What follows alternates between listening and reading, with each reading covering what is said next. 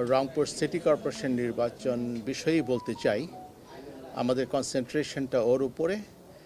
সকাল সাড়ে আটটা থেকেই পর্যবেক্ষণ করা হচ্ছে এবং সকাল সাড়ে আটটা থেকেই আমরা যেটা পর্যবেক্ষণ করেছি, নির্বাচন অত্যন্ত শান্তিপূর্ণ এবং, হয়েছে এবং ভোটার উপস্থিতিতে ব্যাপক ছিল এখনও আছে এবং স্বতঃস্ফূর্তভাবে ভোট দিয়েছে, এটা দেখা গেছে।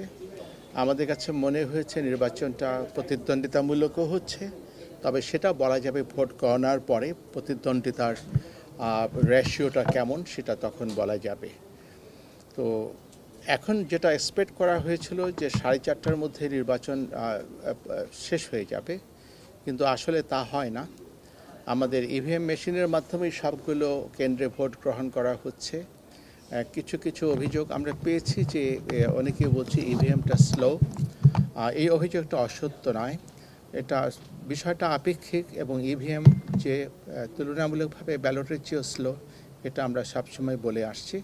ইভিএমের অন্য কিছু যে ইতিবাচক দিকগুলো আছে, যেখানে ভোটটা নিরপেক্ষ হয় এবং কোনো রকম কারচুপির সুযোগ হয় না, সেই জিনিসগুলো।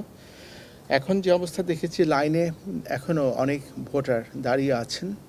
এবং সেইটা দেখে মনে হচ্ছে এটা রাত সাতটা আটটা পর্যন্ত গড়িয়ে যেতে পারে। মানে সব শেষ হতে।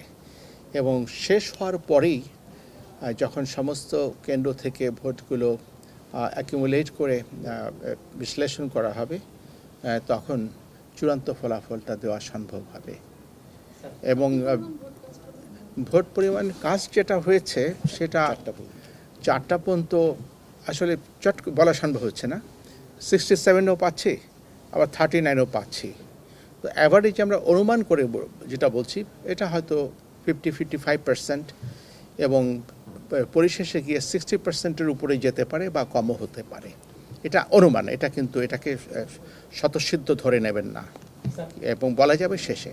ধীরগতিটা দুটো কারণে হয়, যদি ভোটার উপস্থিতি বেশি হয় তখন গতিটা ধীর হয়ে যায় এই কারণে সব ভোটাররা ভোট দেবেন। আর যদি ভোটারের উপস্থিতি খুব কম হতো, তাহলে ধীরগতি হতো না, এর মধ্যে ভোট শেষ হয়ে যেত। এটার একটা ইতিবাচক দিক আছে। যারা ভোটার, তাদের মধ্যে উৎসাহ, উদ্দীপনা, আগ্রহ আছে। উৎসব মুখর পরিবেশে তারা ভোট দিতে চাইছেন।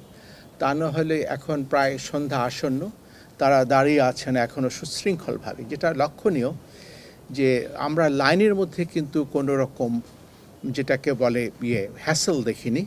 লাইনগুলো খুব সুশৃঙ্খলভাবে এবং সংযতভাবে সংযমের সাথে ওরা লাইনে দাঁড়িয়ে আছেন, এটা কিন্তু একটা ইতিবাচক দিক। মানুষ যে আগ্রহ করে ভোট দিতে চান, সেটার ইঙ্গিত বহন করে।